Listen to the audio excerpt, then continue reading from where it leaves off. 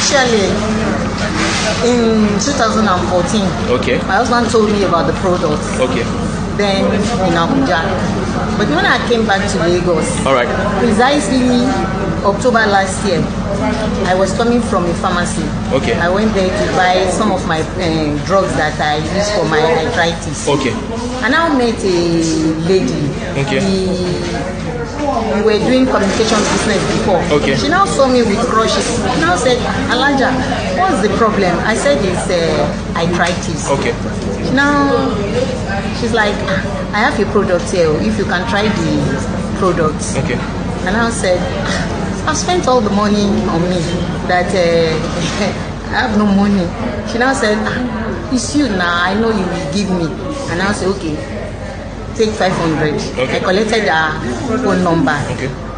and her account number. She All right. collected mine. We Okay. exchanged the two. So I used the first cup. Okay. She told me I could use it together with all other Your drugs and all Eh, that. No okay. problem All right. and I'll use it. Then ah, I was like, is it real? Okay. So I now called for another bottle. All right. It's like I got baffled. Uh, I mean, Alright. I got encouraged. Okay.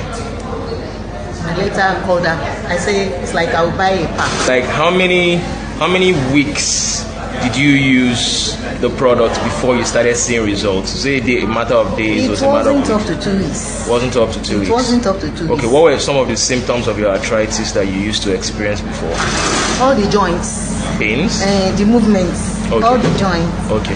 Then now, what I first notice Okay. from the product, I was doing my kitchen work like a newly wedded bride, Wow. unlike before. Wow. Wow. That's that's yeah. lovely. Yeah, I was like, is it real? Is it me? Is it real?